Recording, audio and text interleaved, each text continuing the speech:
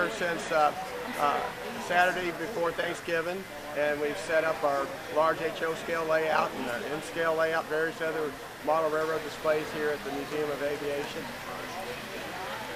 And we've been running trains, showing them off to the public, and um, really having uh, really having a good time here, and uh, really uh, giving people a chance to see the uh, uh, various aspects of model railroading, and hopes of maybe getting younger people interested in uh, model railroading and and uh, and possibly ask, answer questions.